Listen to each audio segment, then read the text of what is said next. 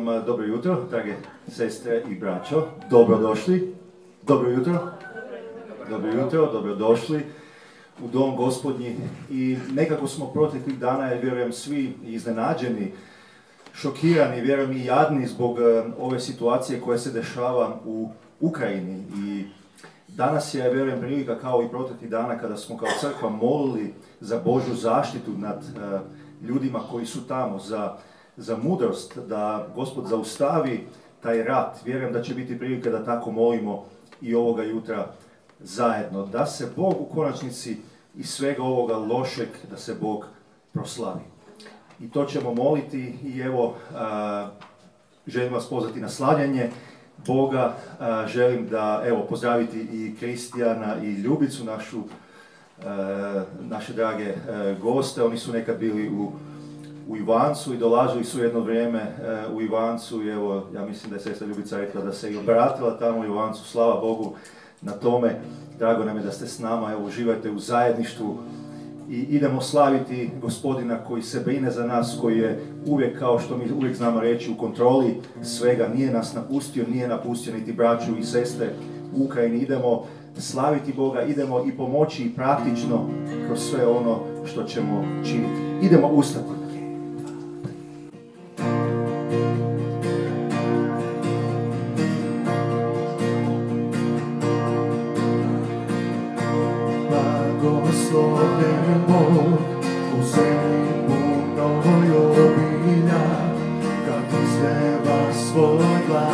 Blagoslov blagoslovljen Bog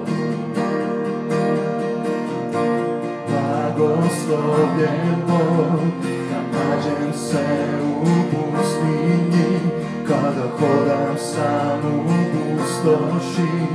blagoslovljen Bog sve tvoje blagoslove, ja slavim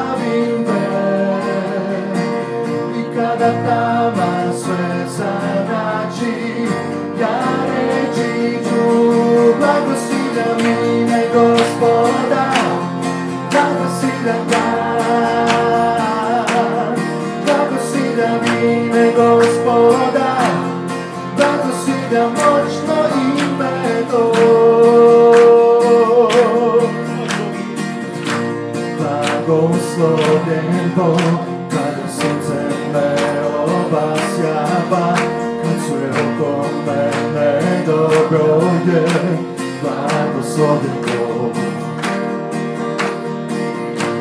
Blagoslovljen Bog, kad budu puno nevolja, i kad pobiti sve odasu, blagoslovljen sve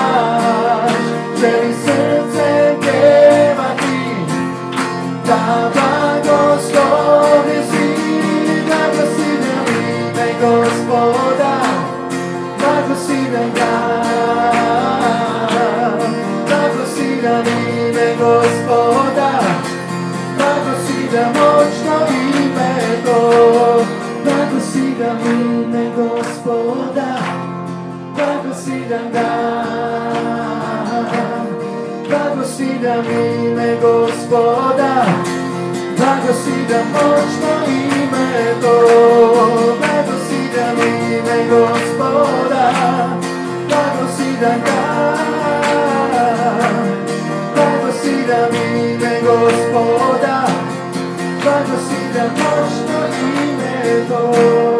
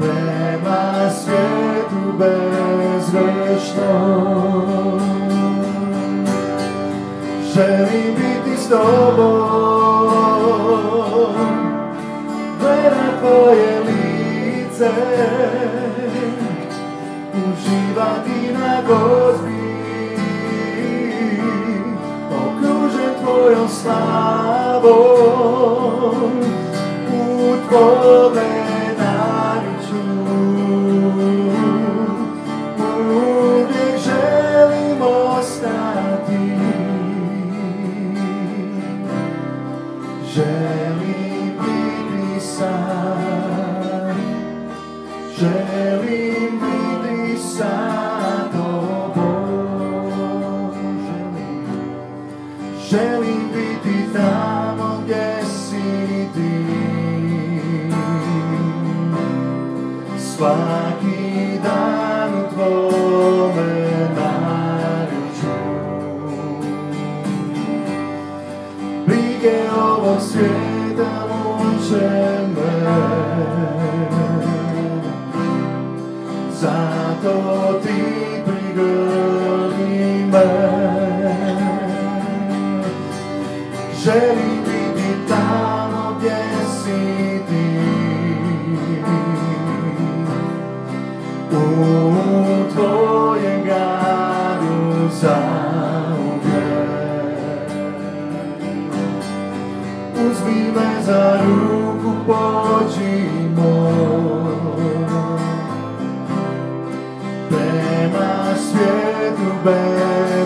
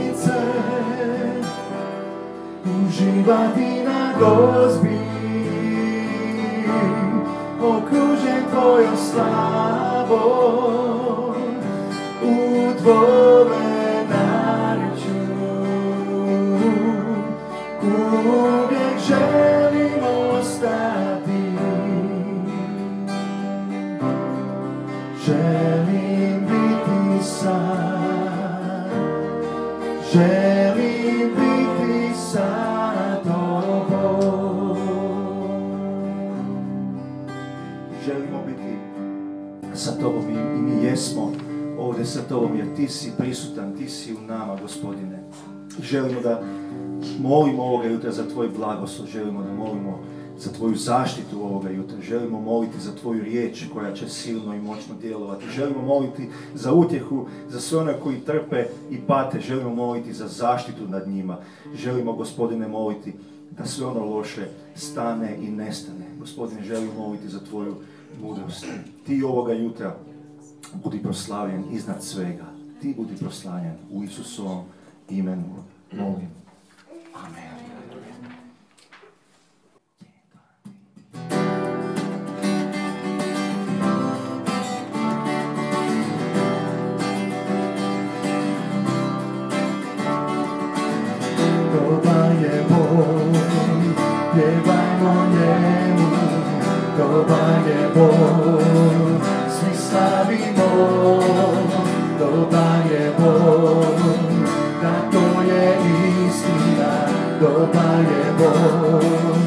To znamo mi.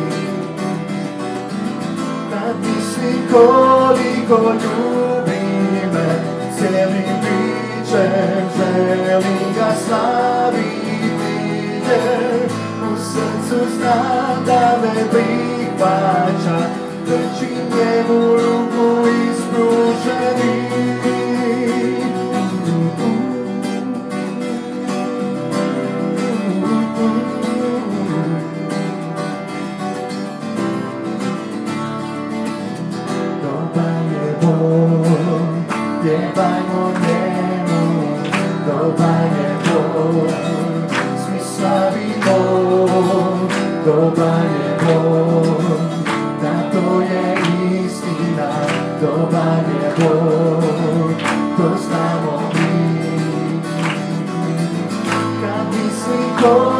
Koliko ljubi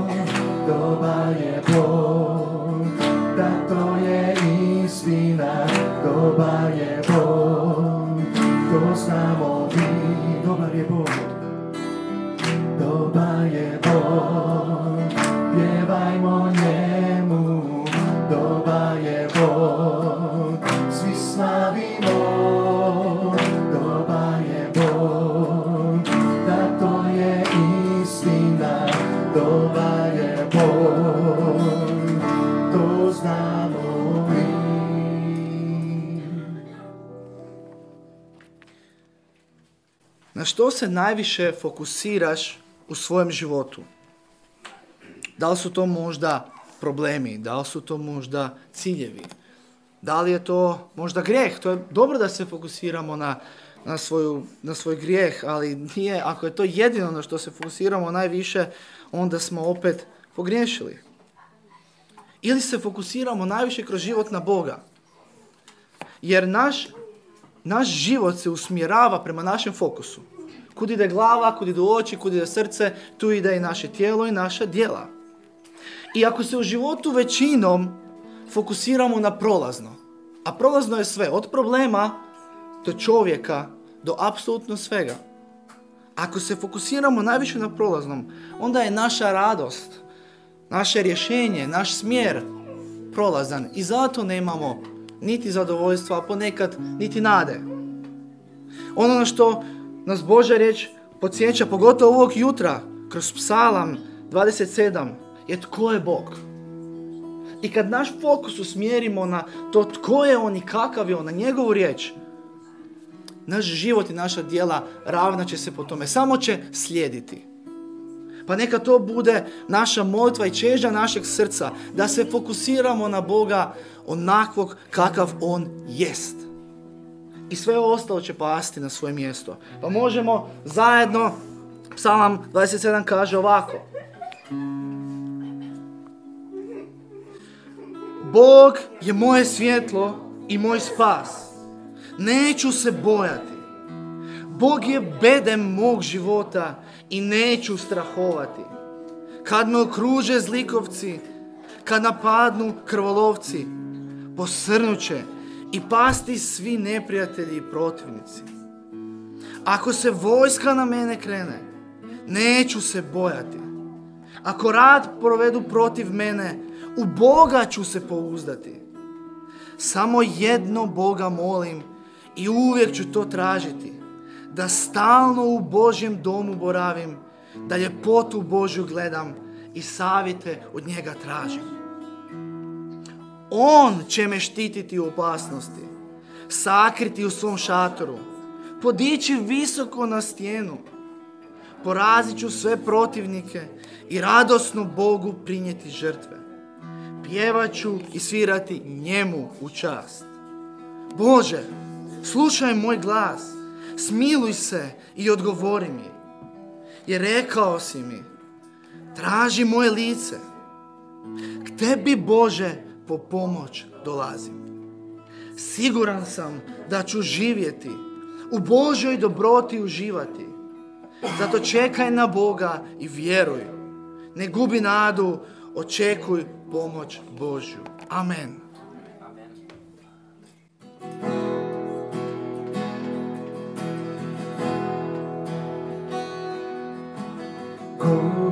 Gospode,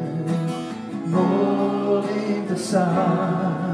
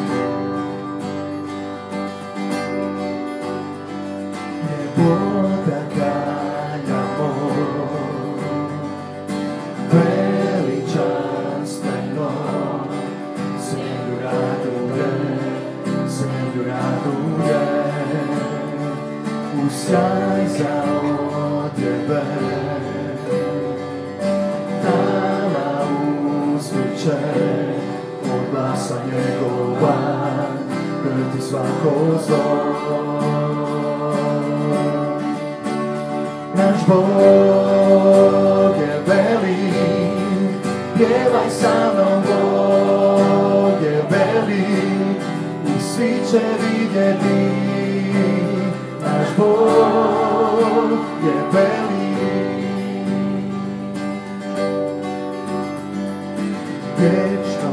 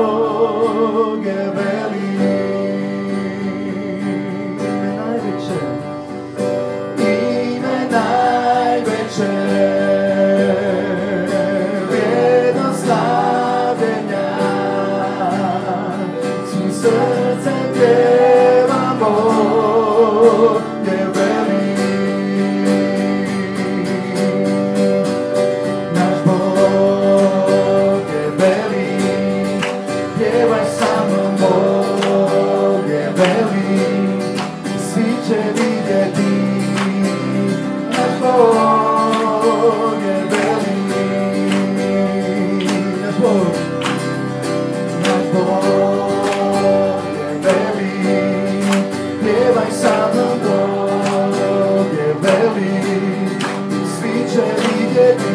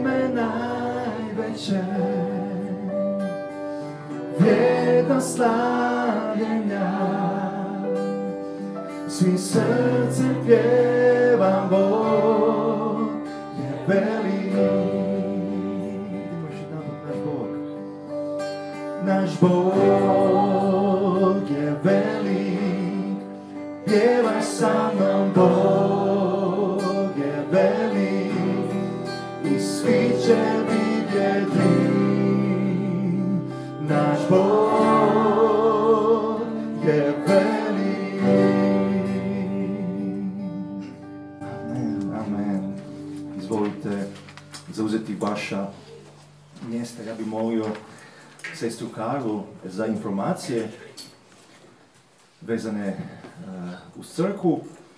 I nakon sestre Karla bih volio brata Marija da izađete zajedno kao crkva molimo, brat Mario, da molimo za eh, ovu situaciju u Ukrajini. Znači, nakon sestre Karla je brat Mario i onda će Ivica imati a, svoju recitaciju. Za vrijeme recitacije ćemo sakupljati dragovne priloge kao i uvijek, ali kao što smo najavili proteklih tjedana, sakupljamo i za kupnju dvorišta i za, sa crkvene strane za parking, za novi parking i za druge sadržaje koje planiramo. Znači danas je taj dan D kada sakupljamo za to pa u svoje koverte ili gdje već e, možete staviti prilog isto i za to. Onda, Karla, izvoli. Dobar dan svima. A, još trebamo 240 kuna da ispunimo naše obaveze prema siročadi u, Ugandi. Danas, danas, danas, danas bi trebali doći do tog iznosa. Tako da učinimo tu donaciju, ljubav prema njima je zasigurno, to je ugodno i našem Bogu. Od sutra do petka održati ćemo treći tjedan molitvene sate. Kod infoputa upišite se za svoj termin. Ovaj tjedan tema molitveni sat je situacija rata u Ukrajini. Molitven tim će se sastati u crkvi ovaj tjedan, ponedjeljak, utorak, četvrtak i petak u 18 sat na pola sata molitve za tu situaciju. Ako možete doći, svi ste dobrodošli. Kako znate, ekipa iz naše crkve redovno je pomagala humanitarno i na obnovi zgrade BC Grabovcu. Prošli nedelji još jedan put smo bili kod njih, a ovaj put da zajedno slavimo Boga za povratak službe u crkvenoj zgradi, koja je bila zatvorena od vremena potres, potresa. Ekipa iz naše crkve vodila bogoslovlje. Misionari Steven je dao riječi ohrabrenja, misionarka Tabita je vodila slavljenje, a naš pastor pripravnik Marin je propovijedao Božju riječ. Također obavještavamo da i dalje pomažemo BC Virovitici. Mari ima kod njih poruku Bože riječ svaku zadnju nedelju u mjesecu. Trenutačna tema kod njih je poslanica Timoteju. Sjetimo se u molitvi i bilježimo crkveni raspored u svoj kalendare.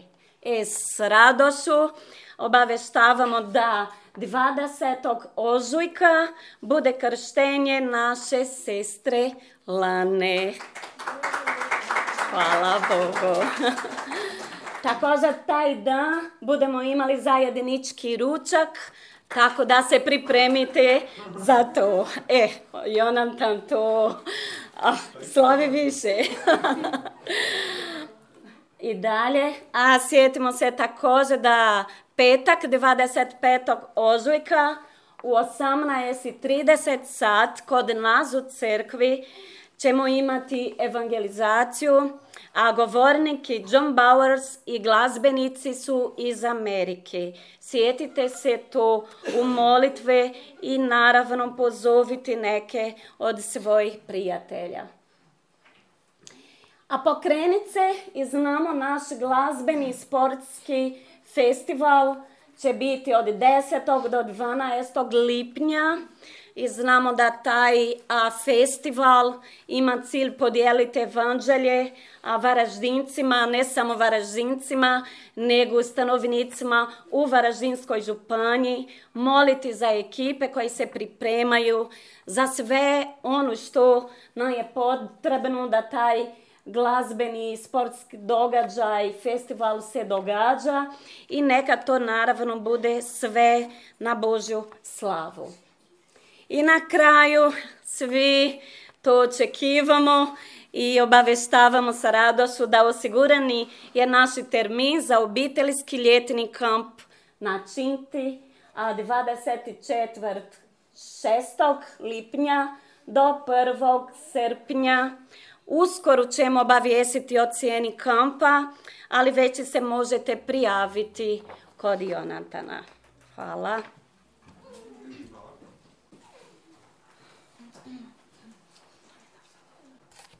Evo, pred nama je situacija kakva je u Ukrajini. I kak je pastor izjavio, potrebna nam je molitva. Ne pola sata kasnije, ne popodne, ne sutra, nego sad.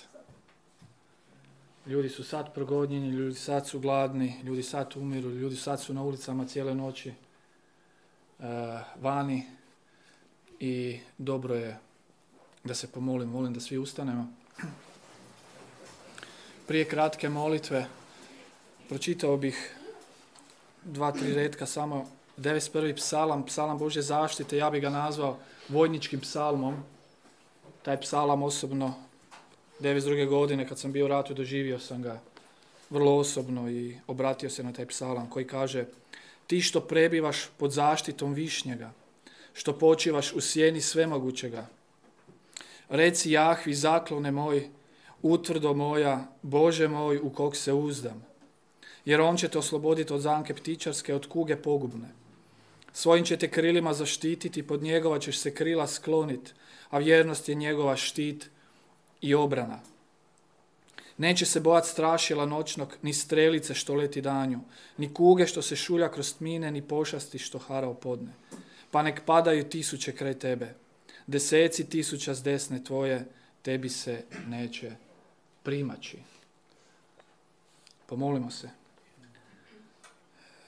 Gospodaru svijeta i stvoritelju svega, tebi kome sve služi i tebi kome sve duguje postojanje, stvaranje i dah života, Jahve nad vojskama, junak rata, gospodar koji si prvi i posljednji i knez mira i čuvar naroda i svake duše, eto ponizno te kao crkva molimo, pogledaj gospodine i zaštiti dotakni i milostiv budi Ukrajini.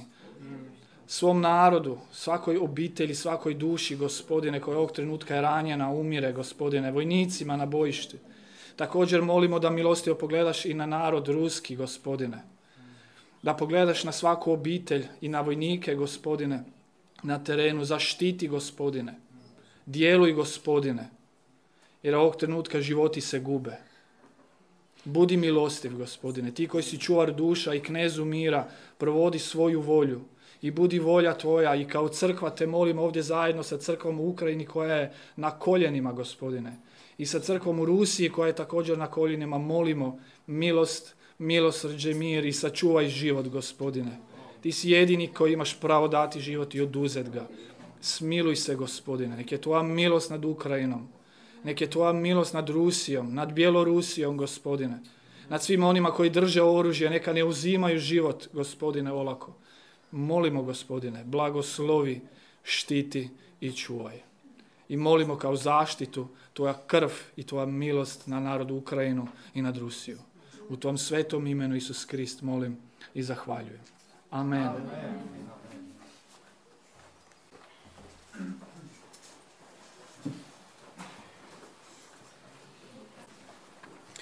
Daj Bože, daj. Potakni nas da možemo moliti. Upotrijebi i iskoristi da možemo ovu zemlju tvojom riječju posoliti. Blagoslovi, želimo se više primaknuti tebi, kako nas ovaj svijet i nevolje odviše ne bi privukle k sebi. Mi se borimo protiv zla, s tobom Isuse nam je pobjeda sva. Kad kad ranjen u srce i dušu, tad tražimo utjehu i zaštitu od Boga našeg svemogućeg, upravo njega. On nam najbolje može pomoći prije svega. Gospode ohrabri, podigni, iscijeli, uslišane molitve molim te podijeli. Ti si nam, Isuse, jedina vjera, ispunjena nadom i vječnim životom. O, kako se samo srce veseli, kako će to biti potom. Zato ne odustajem od tebe jer znam što me čeka. Slavit ću te veličat kralju moj od vijeka do vijeka. Zajedno s vjernicima gledat jednom oči u oči, veselice uživat u tvojoj beskranoj veličanstvenoj moći.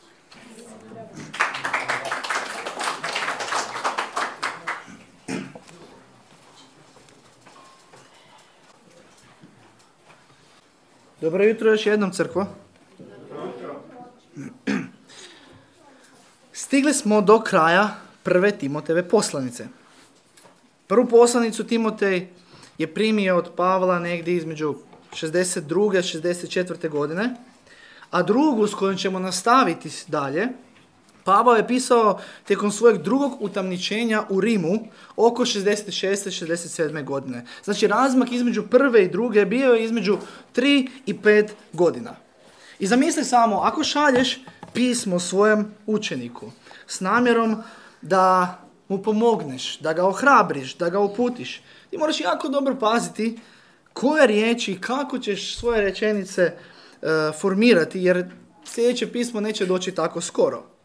Ali budući da je ova Božja riječ, ona je Bogom izdahnuta kroz Pavla kojeg je Bog koristio kao olovku, mi možemo vidjeti da je ova poslanica dovoljna bila za proučavanje kroz godine i godine. I taj Božji prst i vodstvo najjasnije smo vidjeli kad smo sumirali poglavlja kroz koja smo prošli. Pa tako u prvom poglavlju vidjeli smo uh, glavnu poantu Božje postavljeno vodstvo ispred svega drugoga. U drugom poglavlju vidjeli smo Božju zapisanu volju ispred svega drugoga. U trećem poglavlju smo vidjeli Božji dizajn ispred svega drugoga. U četvrtom Božju nepromjenjivu riječ ispred svega drugoga, u petom Božja jasna uputstva ispred svega drugoga i sada kad završavamo vidimo da imamo Božji fokus ili perspektiva iznad svega drugoga. Čisto da samo vidimo kako to sve izlazi iz teksta iz šestog poglavlja. U prva dva redka šestog poglavlja imali smo uh, propoved, imaj fokus, Božji fokus na svojem poslu. Imaj Božji stav prema svojem poslu.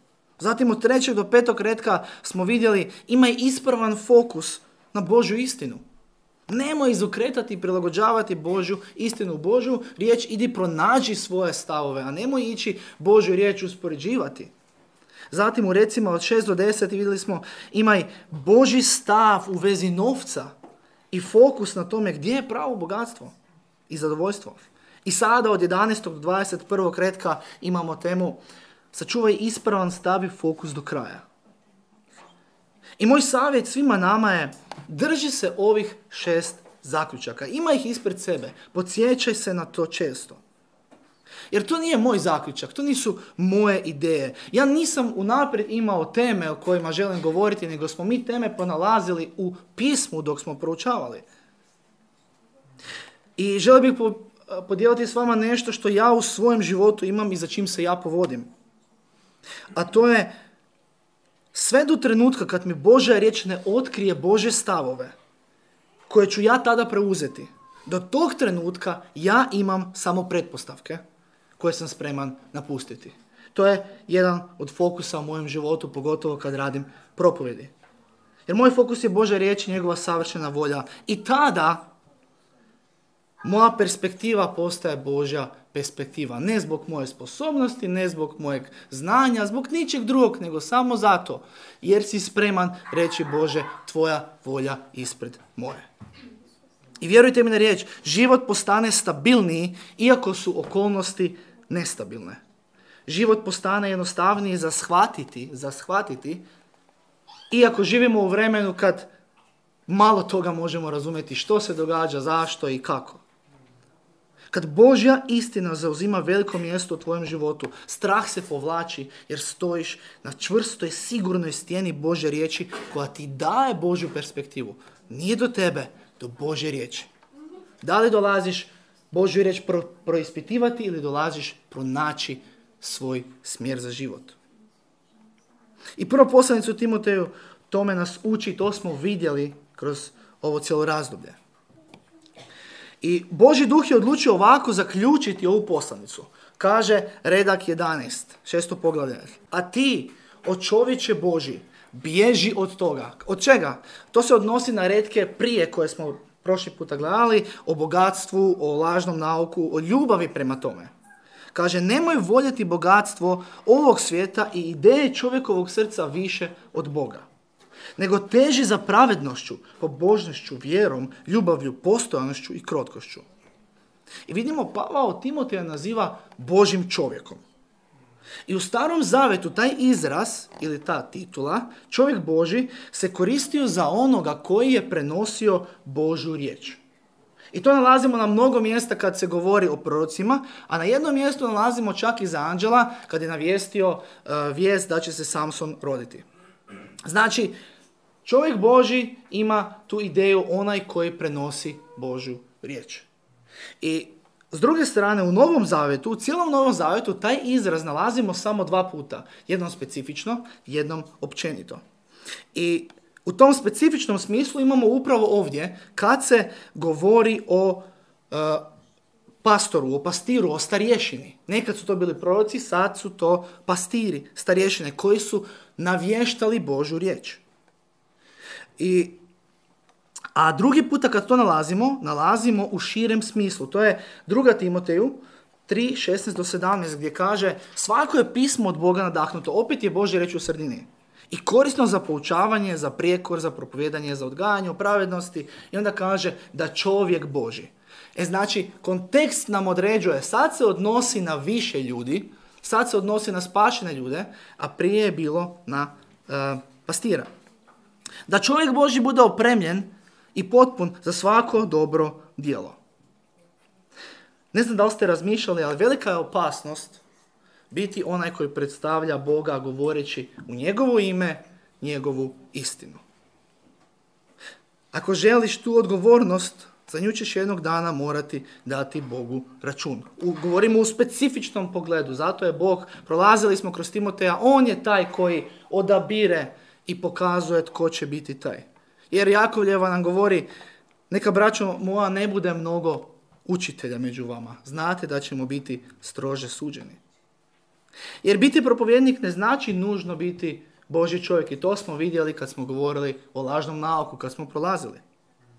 U 17. stoljeću John Owen bio je jedan od najznačajnijih teologa u Engleskoj i rekao je ovo. Propovjednik može ispuniti svoje klupe i usta javnosti, ali ono što je taj propovjednik na koljenima u tajnosti pred svemogućnim Bogom, to je ono što on jest i ništa više. Kraj citata. To je istina i za svakog od nas. Specifično za one koji su dobili tu ulogu od Boga, ali i općenito za nas. Ti i ja, mi nismo ništa više od onoga što smo u tajnosti pred Bogom. Titula Boži čovjek i specifično za pastira i općenito za kršćanina označava on je u tajnosti pred Bogom ista osoba kao i u javnosti pred ljudima. Nema glume. Isti motivi, iste želje, isti planovi, isto djelovanje. Isto djelovanje je važno zato jer ne radi se samo o onome što mi mislimo i vjerujemo. Vjera je puno više stil života nego izjava. Mi svašta izjavimo, i dobroga i lošega. Vjera je stil života. Titula čovjek Boži odražava poziv, odgovornosti posao. Zato je važno da onaj koji je pozvan na taj specifični zadatak da u crkvi propovjeda Božju riječ, koji predstavlja Boga, da bude poznat po tome od čega bježi i prema čemu teže. Znači mora biti poznat po svojem fokusu i perspektivi. Kako gleda na sve oko sebe. Tako i djeluje. A jednako tako i generalno oni koji slušaju nakon poučavanja prate isto. Jer učimo iz iste Bože riječi. Pa prvo, čovjek Boži je poznat po tome od čega bježi. Kaže redak 11, a ti od čovječe Boži bježi od toga, vidjeli smo od čega, i teži za pravednošću, pobožnošću, vjerom, ljubavlju, postojanošću i krotkošću. Prvo Korinčanima 6.18 kaže bježite od bludništva. Od bludništva. Prvo Korinčanima 10.14 bježite od idolopoklonstva. Prvo Timoteju 6, 3 do 5, bježi od lažnog nauka. Prvo Timoteju 6, 9 do 11, bježi od ljubavi prema novcu i od pohlepe. Druga Timoteju 2 kaže, od mladenačkih požuda bježi. Boži čovjek stalno mora od nečeg bježati, ali ne u smislu bezizlazno i u strahu, nego s integritetom i odlučno. Ja nisam više isti čovjek prije. Zbog Isusa Krista. Sa jasnim fokusom. U razdoblju kad sam se ja pripremao za ulazak u službu, rekli su mi Sotona ima svoj način na koji pokušava uništiti reputaciju i službu Božih ljudi. I na engleskom je to 3G. Gold, Girls and Glory. U, u prevodu zlato, žene i slava. To jest za žene suprotno, muškarci. To jest bogatstvo, seksualna grešna želja, jer postoji seksualna čista želja u braku, i vlastita slava. I rekli su mi, tvoj neprijatelj ti želi skrenuti pogled na ono što već tvoja grešnost i ovako i onako želi. I zato je Boži čovjek poznat da od toga bježi. I ovo su tri stvari u kojem se najčešće događa grijeh i zlo u ovom svijetu. Moje pitanje za nas, za mene, za vas, od ove tri stvari, čemu ti najviše pripadaš? Di najviše padaš? Od čega najviše moraš bježati u svojem životu? Da li je to od ljubavi i prevrženosti prema bogatstvu i ugodi? Da li je tvoj fokus većinom usmjeren na to i onda život govori jedno, a u tajnosti pred Bogom mi smo nešto drugo? Da li je to od ljubavi i prevrženosti prema grešnoj seksualnoj strasti ili požudi? Jer rekli smo postoji svet, a to je za brak. Ili moraš najviše bježati od ljubavi i prevrženosti prema samom sebi? Sebe ljublje ili tvoja slava, tvoj plan, tvoj uspjeh, tvoji dani, tvoji ciljevi, tvoji problemi, taj predivan, predivan ja i mudri i sposobni ja.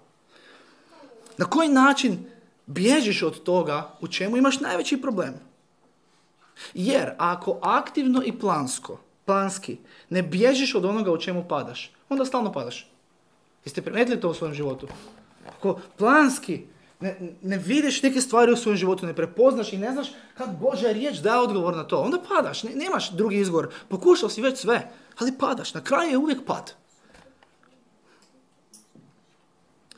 Vidjeli smo kad smo prolazili kroz Timoteja, svakog trenutka svojeg života ili sjediš svoju volju ili Božju volju. To je za svakog od nas. Zato nas Bože reč poziva da umiremo sebi i da slijedimo Krista. Jer nema između. Duhovni rad ne staje ni jedne sekunde. Čovjek Boži je poznat po tome od čega bježi, a još više poznat po tome prema čemu teži. Nešto ostavljamo iza sebe, nečemu velimo ne, da bi nečem drugom rekli da. Ali pogled ti je fiksiran. Božja riječ daje rješenje. Boži čovjek bježi od ljubavi prema svojoj vlastitoj slavi, griješnim seksualnim požudama i bogatstvu, onda kad teži za pravednošću, pobožnošću, vjerom, ljubavlju, postojanošću i krotkošću. To praktično znači da čovjek Božji, spašena osoba, planira pravednost pod navodnicima, planira svoje posvećenje, trenira se u pobožnosti, trudi se pokazati ljubav, disciplinira se u postojnosti i krotkosti, ali ne zato jer to samo mora. Svi koji trenirate nešto, idete u teretanu, vježbate se u pjevanju, sviranju, nije lako. Ni vježbati, ni svirati, ni pjevati, niti bilo što drugo. Ali se treniraš jer to voliš, jer znaš, ja sam sad takav, a hoću biti ovakav. Tak je i u kršćanstvu i u posvećenju. Ako ti znaš, ja želim biti ovakav, onda to nije teret. Teško je, ali nije teret. Ali postaje sve lakše i kroz to smo prolazili kod Timoteja, kad smo čitali. Ne mogu više tak živjeti. Ja nisam osuđeni grešnik više po svom životu, nego jer sam spašen, ja sam pomilovano Bože dijete. Po Kristu Isusu. Ne mogu živjeti kao prije. Raditi ispravno pred Bogom i čovjekom zbog toga jer si sve primio po Isusu Kristu. Bolje ponašanje te neće više spasiti niti manje. Više čitanja, manje čitanja, više molitve, manje molitve neće učiniti da si ti više ili manje spašen. Ti ili jesi ili nisi spašen. Ali ovo je samo odraz toga koliko ti ljubiš Božju riječ i Krista. I to je to. Zato jer je Krist napravo sve. On je dovoljan. Ti i ja nismo dovoljni i to je u redu. Jer Krist je dovoljan. Oproštenje, spasenje i vječnost s Bogom. I onda to kažemo, to je praktična ili progresivna pravednost. Postoji pravednost koju imamo u Kristu, to je pozicijska pravednost, tome ne možemo ništa nadodati, to smo dobili po Kristu, zbog Krista, u Kristu i to je to. Ali praktična pravednost su, ovisi o nama, o našim djelima, kud se fiksiramo, kaj gledamo, što želimo. I zato u svjetlu tog razumijevanja, jasne razlike između jednog i drugog, možemo reći da pravednost ima veze sa vanjskim, sa djelima, ta praktična pravednost, a pobožnost ima veze sa unutarnjim, sa motivima. Ponašanje ima veze sa stavom i željom srca. Ono što je unutarnji fokus mojih i tvojih misli i želja, vanjski se odražava u našim stavovima i reakcijama. Tvoje moje ponašanje nije primarno rezultat okolnosti oko tebe, nego realnosti unutar nas. A gdje je tvoj fokus? Ako djeluješ tako da se svađaš, da radiš scene, da započinješ svađe, ako ne daj Bože nešto nije bilo kako si ti rekao, ili ako je bio odpraven greh protiv tebe. To nema veze sa okolnostima oko tebe, to ima veze sa tvojim stavom unutar tebe. Ja mogu biti ovdje, tu može biti neko drugi. Neko napravi greh protiv mene i ja krivim sve, gotovo je, radim scene, a neko drugi ne radi to. Razumijete? Radi se o unutarnjem, a ne o okolnostima. A ako je tvoj plan da praktično težiš za pravednošću, za pobožnošću, za vjerom, za To smo prolazili, ako se sjećate, zato ne, ne objašnjavam to. Krotkošću. Onda razmišljaš, pa ja niš ne zaslužujem. U svjetlu mojeg života, u svjetlu onog koja jesam pred Bogom, ja ne zaslužujem ništa. I onda te rijetko šta može baciti iz takta, jer je Krist tebi sve. Gledaš na njega, na njegovu nagradu, još malo i malo idemo doma. Onda je život jednostavniji. Nije lakši, ali je jednostavniji za razumjeti. Ali to ne znači da si neodgovoran, da se ne brineš i da te boli briga. Nego to znači da ispravno se fokusiraš. Vidite, na čemu je tvoj fokus?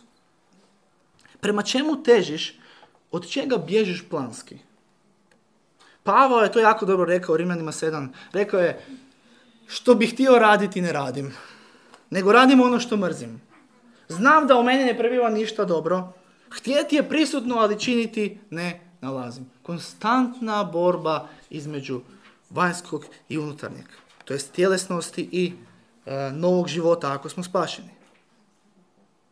I znamo da je ovaj život za spašenu osobu do, doživotni rat između naše tjelesnosti i našeg novog života u Kristu. Zato odmah, nakon što mu kaže, tvoj unutarnji fokus će određivati tvoje vanjsko ponašanje, odmah mu kaže, bi dobar boj vjere ili bitku. Drži se vječnog života na koji si pozvan i za koji si dao lijepo svjedočanstvo pred mnogim svjedocima. Ova riječ u grčkom bi ima, to je riječ agonizomaj iz koje dobivamo riječ agonija. A ima ideju bori se ili umri. Bori se da pobjediš. Spašeni ljudi su dobili rat u Isusu Kristu. Po Isusu Kristu, samo zbog Isusa Krista. Amen. Ne, ne može tu niko ništa dodati oduzeti. Ali možemo gubiti bitke dok još uvijek živimo na ovoj zemlji. I to smo vidjeli kad smo prolazili kroz Timoteja. U prvom poglavlju.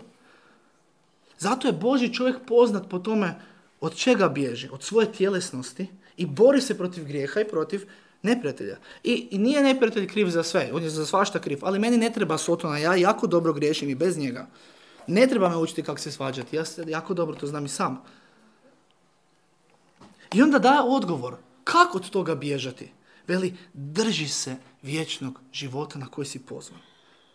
Drugim riječima, nećeš imati problema pustiti svoj zemaljski život ako se već sad držiš za vječni. Nećeš imati problema napustiti svoje ideje, motive i želje ako je već sad tvoja ideja Božja ideja, tvoj motiv Božji motiv i u tome težiš. Radi se o perspektivi i fokusu. Ne radi se o tome da li si 30 put uspjel ili 10 put uspjel, radi se o konstantnoj perspektivi i fokusu. Jer ako čitamo motive iza Pavlovih izjava, mi možemo pretpostaviti sa čim se Timotej borio. Nije baš bio zlatni dečko. Ali je imao poziv. I njegovo, njegov život je svjedočanstvo o njegovom Bogu. Tvoj, tvoj život je svjedočanstvo o tvojem Bogu. Saznali smo da je Timotej bio sam na svojem zadatku. Da dovede crkvu na pravi put, da se bori protiv lažnih učitelja, da, da dovede e, Božju svetost tamo. Saznali, saznali smo da je bio usamljen. Kad je ispravljao grijeh, odmah se susreo s opozicijom. Bio je mlad i, samo već zbog toga su ga prezirali. Nije, samo se pojavilo. Ima je godina koliko je imao, već je dobil etiketu. I to vidimo u svakom poglavlju. A zbog svoje mladosti vjerovatno nije bio ni blag ni nježan koliko je trebao biti u nekim situacijama, pa ga Pavao upućiva kako pristupiti vjernicima. To smo vidjeli u petom poglavlju. Prema starima, mlađima, prema svima. I vjerovatno se dosta raspravljao. Zato mu Pavao u prvom i u zadnjem poglavlju piše pusti prazne rasprave koje ne vode nikud. Vjerovatno se borio s mladinačkim željama i žutnjama. Druga Timotej, to ćemo vidjeti, govori nam o tome. Vjerovatno je stvarao neprijatelje više nego što je stvarao prijatelje. Možda zbog toga je bio sklon tome da radi kompromis, pa smo vidjeli da mu Pavao piše, cijelo nebo gleda i očekuje tebe da djeluješ ispravno. Ne radi kompromis. Božja slava ispred ljudske slave. I to smo vidjeli u petom poglavlju. Možda je htio odustati, jer kad vidi svoju nemoć, kad vidi druge, ne da mu se više. Ne može. Pavao ga potiče u drugoj poslanici da nastavi. Vidite, gubio je fokus. I ja mislim da se mi možemo poistovjetiti sa tim. Da često ili ponekad gubimo fokus. I zato Bože reč podsjeća, stani, ti si Boži čovjek, ti si spašen. Osoba koja mora živjeti kao primjer, poput proroka i anđela prije tebe, to je specifično za uh, pastire. Nemoj izgubiti iz vida život na koji si pozvan. Jer je to svjedočanstvo pred mnogim ljudima, kakva kaže tekst. Kaže, drži se vječnog života. Imaj fokus na vječnosti koja ti je darovana. I sada ga ohrabruje sa istinom o tome ko je Bog kojem on služi. Redak 13 kaže, zapovjedan ti pred Bogom koji svemu daje život. I Kristom Isusom, koji je pred Poncijem Pilatom posvjedoči lijepo svjedočanstvo, da očuvaš ovu zapovjed neokaljano i besprijekorno, do pojavka gospodina našeg Isusa Krista, kojeg će u svoje vrijeme pokazati blaženi jedini, onda nabraja titule vladar, kralj kraljeva i gospodar gospodara, koji jedini ima besmrtnost i prebiva u nepristupačnoj svjetlosti kojeg nitko od ljudi ne vidje, niti mu može niti ga može vidjeti. Njemu čast, moć i slava. To je jedan način na koji možemo pročitati ovaj tekst. Drugi način je da ga probamo razumjeti kako mu je on pisao. Zapovjedan ti pred Bogom. Koji svemu daje život. Nema života bez Boga. Nema ničeg bez Boga. I Isus Krist je to posvjedočio. Zato očuvaj tu zapovjed neokaljano i besprekorno. Dokad se Isus ne vrati jer on se vraća. To je činjenica. I njega će u pravo vrijeme otac poslati. A on je vladar i kralj i gospodar. Jedini ima besmrtnost. Prebiva u nepristupačnoj svjetlosti, nitko ne može do njega, nitko ga ne može vidjeti. Njemu moć, slava i čast. Amen. Važan je fokus. Kako čitaš, kako gledaš, kako razumiješ i što želiš. Bog koji svemu daje život, koji se vraća, ima plan, vladar, gospodar, besmrtan. I kad se ispravno fokusiraš na Boga, tada će tvoj život, planovi i želje dobiti ispravnu perspektivu. Nije isto da li gledamo sa 2 metra visine ili 20 metara visine. Nije isto. Kad se ispravno fokusiraš na Boga, onda razumiješ On je svemoguć. Psalam 19 kaže, nebesa kazuju slavu Božu i svod nebeski navješta dijelo ruku njegovih. To znači svo stvorenje, što god da pogledamo vani, jasno govori da je Božja moć, mudrost i kreativnost među nama. I to ti jasno daje fokus i perspektivu. Kao prvo, tvoji problemi nisu centar svijeta. Ako ništa drugo, zato jer ćeš jednog dana završiti ovaj život i više ne bude tih tvojih problema za tebe. A kao drugo, nisu preveliki za Boga. A kao treće, nisu važniji od Božeg plana. Imamo jednu sliku s kojom nam želim dočarati. Vidite, ovo je sunce, veličina sunca. Ovo je veličina Jupitera. A zemlju vi dalje od ovog reda niti ne vidite. Tu je dole mala. Ako je Bog bio dovoljno kreativan i moćan da napravi sunce koje je iznad tebe ovakvo, onda je dovoljno kreativan i moćan da riješi taj tvoj problem sa tvojim srcem, sa bilo čim u tvojem životu. Imaš izbor, slijedi ga i nemoj. Ovo je puno veće od tvojeg problema ako se zemlja ne vidi, niti tvoj problem se ne vidi u svjetlu perspektive sa Bogom. Zato je važnost da živimo na takav način. Isus se vraća i on ima plan. I to je puno važnije od svega što se mi susrećemo. Ne znači da se s tim ne budemo bavili. Ali možeš fulati to sve. Možeš fulati, ako se orientiraš na planete i sunce, sve možeš fulati ako nemaš ispravnu perspektivu i fokus. Okolnosti se onda ne moraju promijeniti, ali ti si promijenjen sa spoznajom Bože riječi. Bog koji drži sve u ruci. Kad svoj život vidiš sa Bože ispravne perspektive, kad živiš sa pravim pogledom na sebe i na Boga, tad počinješ više pitati i slijediti, nego zahtijevati i voditi svoj život u prazno. Tad svaka situacija postaje prilika kako ću ja vidjeti Boga proslavenog. Korona, rat, rak, smrt. U tvojoj perspektivi onda postane, gospodine, neću to, ne sviđa mi se to, ali ja znam da je ovo način na koji budeš ti pokazao meni sebe proslavenog. Onda ne mrmljamo, ne prigovaramo, nego pitamo Bože, pokaži mi. Ja se uznam u tebe. Ako si stvorilo ono sunce, onda možeš i riješiti ovu situaciju na zemlji. Jer tada u tvojem srcu je stvoritelj ušao u vlastito stvorenje, postao je čovjekom, krvario je zbog griješnog čovjeka. Ruke koje su sve stvorile su krvarile da bi ti ja imali nadu. Sve drugo gubi na snazi, gubi na težini. Bog koji krvari za svoje stvorenje, šta ima veće od toga? Zato nemoj potrošiti svoj život da se vrtiš oko svojih želja problema jer ćeš propustiti Boži plan. Nego se time svime bavi dok hodaš prema Božjem planu. Nemoj biti neodgovoran. Je, Bog dolazi i boli me briga. Ne, sa tim se bavi dok si fiksiran na Boži plan. Kako Pavao završava ovu poslanicu? On Timoteju ostavlja fokus na Božjem veličanstvu. Kaže, za to se boriš i ustraješ. I sad ponovno daje jedno veliko upozorenje. Kaže, dok se boriš, imat ćeš sklonosti tome da svoju nadu i rješenje potražiš u novcu. Jer kao što smo vidjeli, novac može puno toga privremeno riješiti. I onda stavljamo svoju nadu u, u novac, a ne u Boga. To je razlog zašto Pavao to spominje. Kaže, nemoj imati fokus na, na, na, na novcu, nego na Bogu, kao rješenje.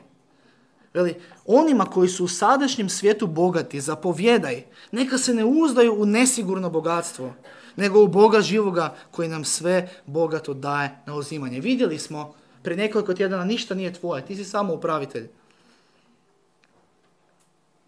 Niti tvoj život, nisi ga tražio, nisi ga dobio, nisi ga napravio, dobil si ga. Da li budeš odgovor Bogu jer si upravitelj? I mi sad mislimo, pa da, to je najviše za one koji su bogati. A mi nismo tu baš bogati. Ali ja sam gledao statistike i različita izvješća koje, kroz godine, koja su nam dostupna i govore da između 195 zemalja u ovom svijetu, Hrvatska je bivala smještena na ljestvici između 50. i 70. mjesta. Ovisno koje godine se to radilo, tak, ali tu smo negdje. Što znači da mi spadamo u polovicu bogatih zemalja svijeta. Ali mi mislimo da nismo bogati jer imamo samo vodu, hranu i smještaj. Ali vidite o čemu smo govorili prošli, prošli puta. Kad si zadovoljan osnovama, onda si bogat jer sve ostalo je višak. Mobitel mi ne treba da bi preživio, ali mi voda treba. Auto mi ne treba da bi preživio, ali mi hrana treba. I Bog kaže kad si zadovoljan sa osnovama, sve ostalo je u tvojem srcu višak. I onda si spreman dati ako je potrebno. Onda si spreman izgubiti. Nije smak svijeta ako se dogodi nešto. Jer se uzdaš u Boga koji je pobrinul se za tvoje osnove. Mi mislimo da smo siromašni, ali oni kojima pomažemo misle da nismo siromašni. Vidite, nekad jedu samo komad kruha i čaj ili vodu, a nekad imaju i grah ili rižu. Doslovno, to je ovo. Doslovno, kao što vidite na slici, budući da ja radim sa njima, ja znam. Doslovno to je ovo. Danas, dobar tek. To je za danas. To je za danas i nema. To je za danas. Sutra možda nema ni to. I sad vas pitam, jesmo bogati? Kaj budete vi danas ručali? Kaj bom ja danas ručao? Možda si bom neke naručili. Sa Volta. A kaj si ovo naručio? Taj kruh. Jesi bogat? Bog veli, ako si zadovoljan sa osnovama, onda sve drugo je višak. Onda može dati ako treba. Sat ima ili nemam.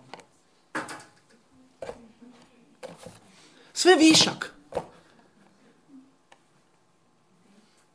Možda si uvjeren sad sljedećih 3 do 5 sekunda da si bogat. Ali ako ni sad nisi uvjeren, onda imaš veliki problem u svojem srcu. Jer ti nikad ne bude dosta. Imalo puno ili malo, nikad nije dosta. Samo osnove su nužne i Bog je rekao, za to ću se pobrinuti. I tad si još više zahvalan. I možeš darežljiv biti kad je potrebno. Jer ti je usmjereno srce na Boga koji je dao život za tebe. I čekate vječnost. Držiš se za vječnost. Pava usmjerava Timotejev fokus i pogled. Kad je tvoj fokus ispravno usmjeren prema Bogu, ti zbog njegove riječi primaš njegovu perspektivu u životu. I tad jasno vidiš svoje stanje. I pitaš što želiš da učinim. Ne samo u zrak, nego pitaš u Božu riječ. Više pitaš, manje tražiš. A kad više pitaš, manje tražiš, ponekad Bog i puno više daje, jer zna kud bu išlo to kaj ti je dalo. Zna kud je tvoje srce usmjereno. Pa ti se brineš i zato mogu živjeti slobodno sa fokusom i perspektivom tvojeg kraljevstva. Ima malo ili puno. Kaže, onima koji su u sadašnjem svijetu bogati zapovjedaj, neka se ne uzdaju u nesigurno bogatstvo, nego u Boga živoga koji nam sve bogato daje na uživanje. Kaže, neka dobro čine. Neka budu bogati dobrim dijelima, neka budu darežljivi, spremni dijeliti, sabirući tako sebi domar tebe za budućnost, da bi se domogli vječnog života. Kad se nadaš Božoj providnosti, ti možeš biti velikodušan i jasno vidjeti svoje stanje. Jer Bog će se pobrinuti za osnove. Ja mogu djel... je li da je lako dati od viška? To sam već pitao. Lako je dati od viška. A kad je sve nakon osnova višak, onda daš kad je potrebno. Jer se Bog pobrinuo. I onda puno put shvatiš, to mi niti nije bilo potrebno. Dođeš u ormar i onda vidiš da nisi stvari neke nisi nosio godinu dana.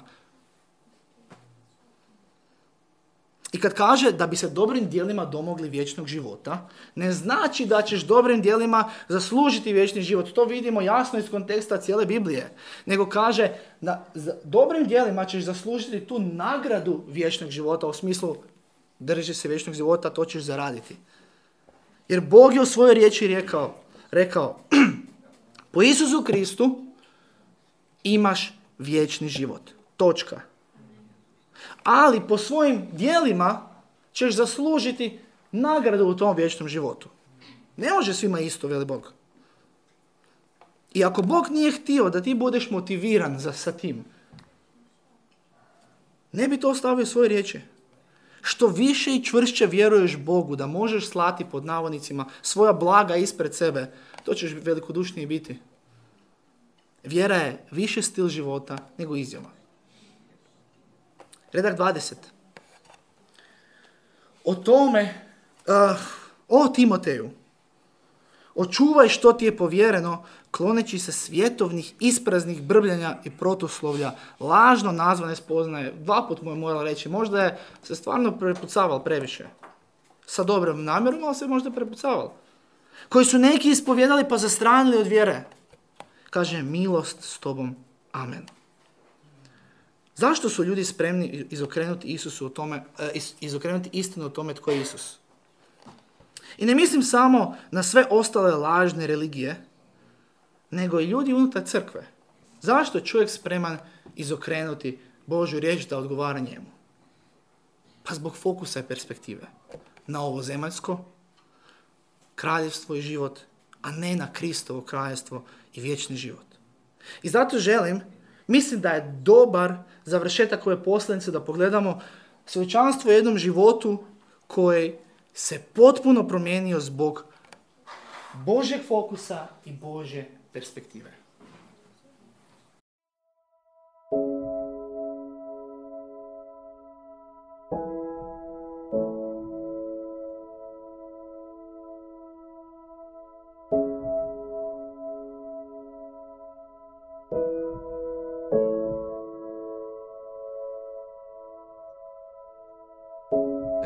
Home in 1995, this custom home that I've built from scratch. I have fancy cars, I have a very substantial bank account, my medical practice, and I was married at the time, uh, but unfortunately went through a divorce in 1998.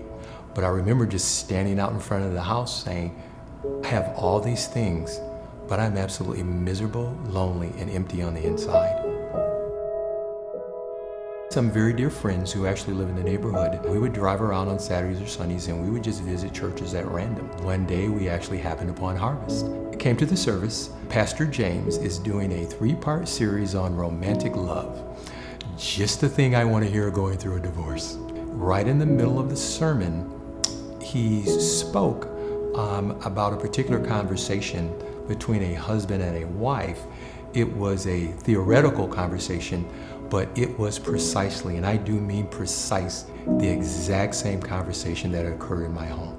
And at that point, I just broke down and I started crying. God really touched my heart and said, okay, do you want to do this for real now? A new purpose, a new meaning to a true, intimate relationship with Christ and really wanting to know Him and love Him more.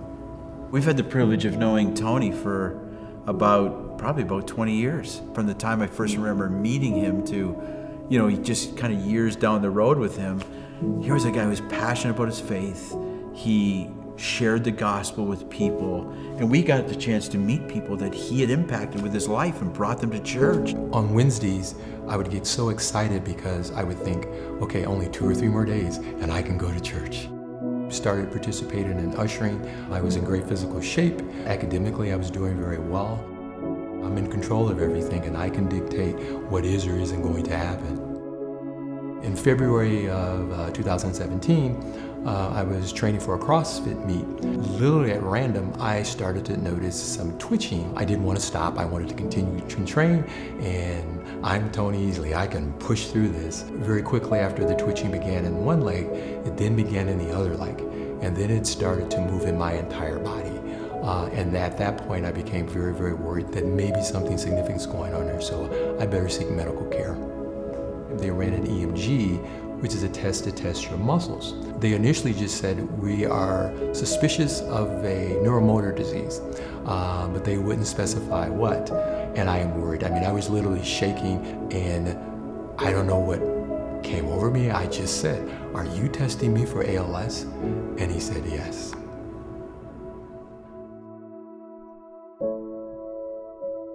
And with the knowledge I do have ALS, is that um, your life's over.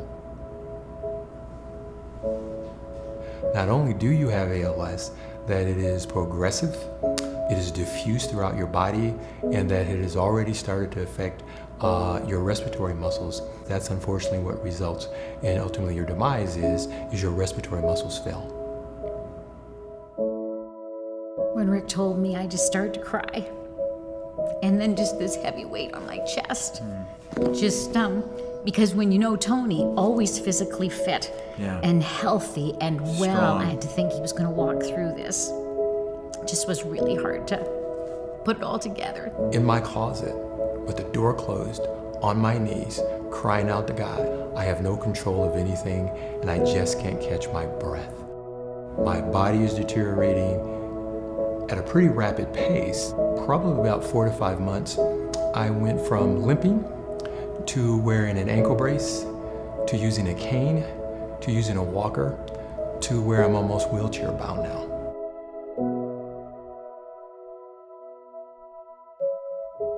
Well, as a doctor, he knows exactly how this is going to play out. Yeah. And I can only imagine how he has to rein his thoughts in. But I know the times that we've gone to visit Tony, he's just asking us to pray for peace. It literally feels like God has stripped me bare. He's stripped me of my health. He's stripped me of my profession. He is saying, I want you, Tony. I want you. Because even in this, I want you to glorify me. To get from rejection to acceptance is just go to the foot of the cross and you see him on that cross and you see what he accepted for me, to see his love for me and his sacrifice for me. How could not I not accept a cross that he's given me? You've put this before me and I don't like it and I don't want it. But if you allowed it, then I'm going to accept this. You're God, I'm not. And when you're in a fog and you can't see anything, God is with you. Don't take a step without Him. That's the way that I live right now. Uh, when I wake up in the morning, it's Lord, give me the strength to get dressed and go to the kitchen and have breakfast. After that, then you give me the strength for whatever's next. That vibrant Yeah. smile and still praising the Lord. Yeah. That's Tony. That's because he's got a real relationship with God. And any chance he gets with all the workers that have been coming in and out the house, he's sharing Christ with them. You know, you just see this strong foundational faith that isn't changing when life has got really, really hard. My identity is not in being a doctor. My identity is not in the home that I live. It's not in the friends that I have. My identity is hidden in Christ. I will bless the Lord at all times. His praise will continually be in my mouth. My soul shall make its boast in the Lord. The humble shall hear it and rejoice. Oh, come magnify the Lord with me, and let us exalt his name together.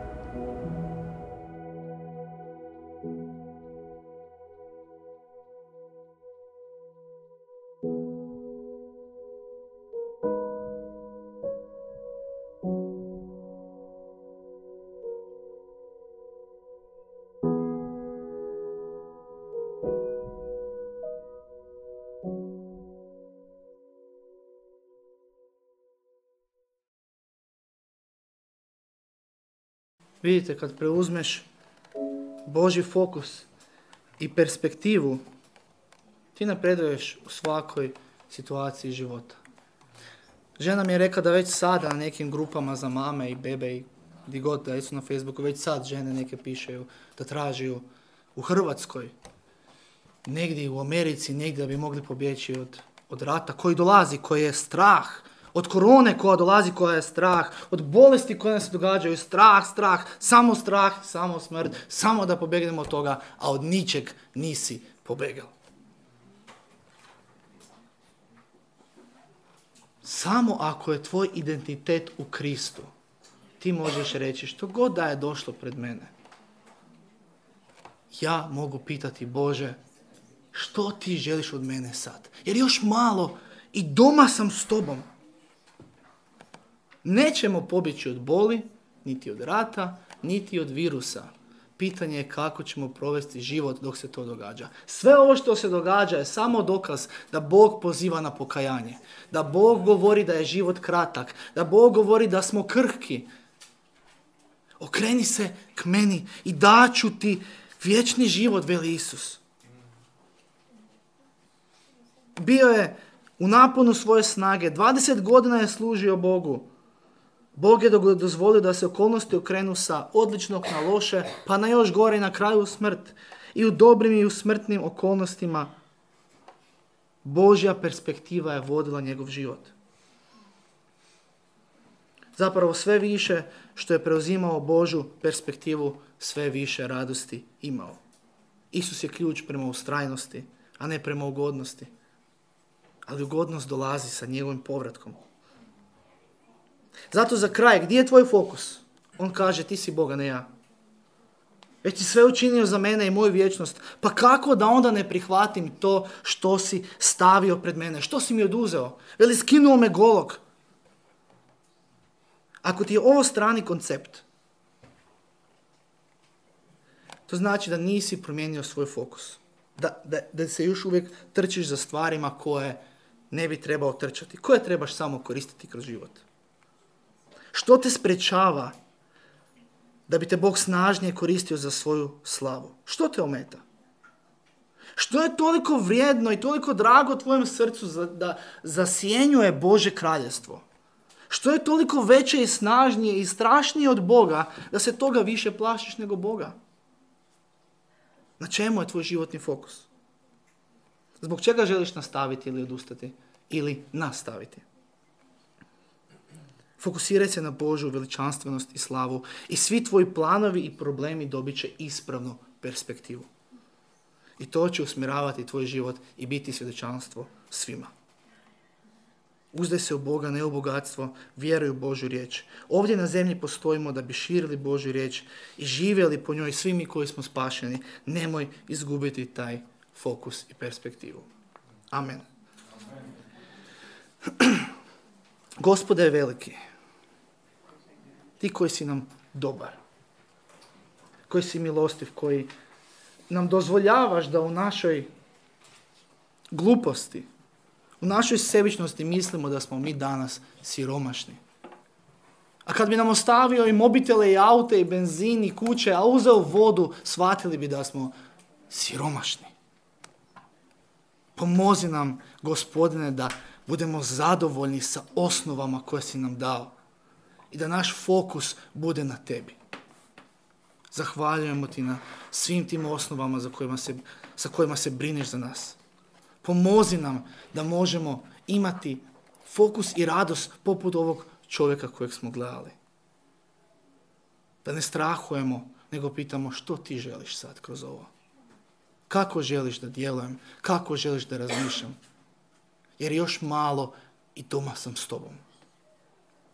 Molim te za svaku osobu, gospodine, ovdje, ako još nije spašena, da tvoja riječ dopre duboko i da spasi svako, svaku dušu. Zahvaljujem ti na tvoje velikoj veličanstvenoj riječi koja je toliko dobra prema nama i molim te, gospodine, pomozi nam da ju možemo ispravno tumačiti. Amen.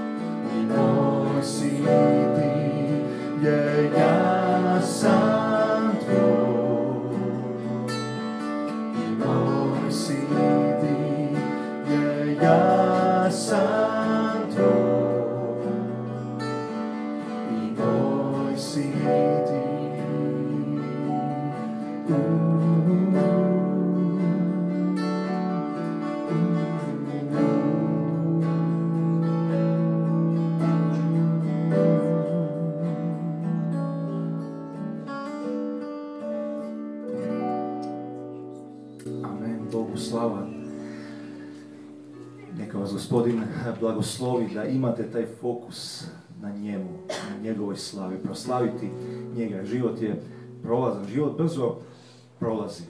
I ova poruka je jako dobro pitanje za svakog od nas. Za svakog od nas. Imaš li sigurnost spasenja? Imaš li sigurnost da je Isus Krist tvoj osobni spasitelj? Imaš li to? To je, to je, to je pitanje. I to je nešto sa čime trebamo otići sa ovoga mjesta i vjerujem da ćemo na našim kućnim grupama imati prilike razgovarati isto tako, da ćemo se vidjeti iduće nedjelje ponovo na ovome mjestu. Milost neka je sa vama, neka vas gospodin čuva, neka vas zaštiti, neka vas vodi. Amen i vidimo se.